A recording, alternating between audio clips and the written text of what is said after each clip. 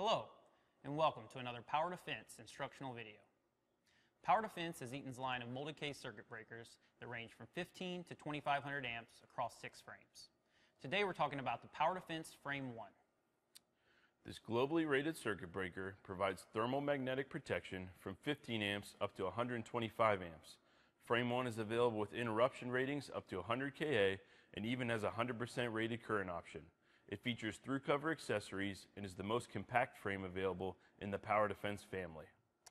Let's take a look at the step-by-step -step instructions for today's demonstration. Always work safely. Before working on the breaker, press the push to trip button on the breaker face to put the breaker in trip position.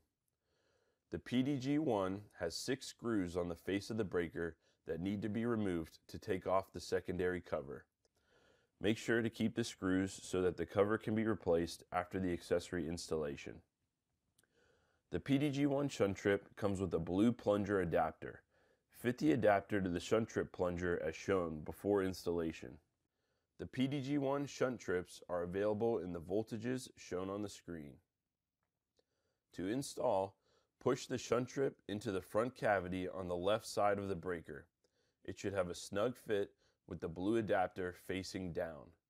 Notice the indented channel on the side of the cover for running wires.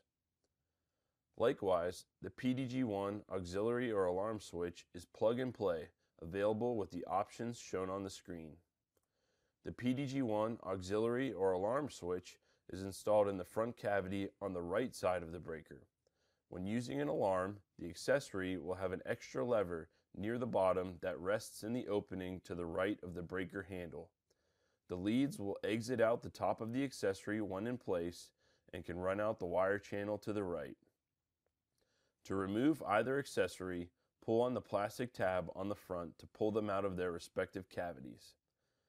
To ensure there's enough space for the accessory leads to exit the breaker, Use a pair of pliers to bend the wire channel tabs outward on the secondary breaker cover. The tab does not need to be bent if there is no accessory in the adjacent cavity.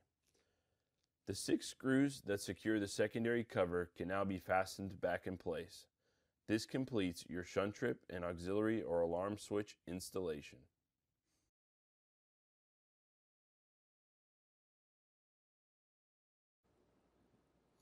Thanks again for watching. We hope this instructional video was helpful.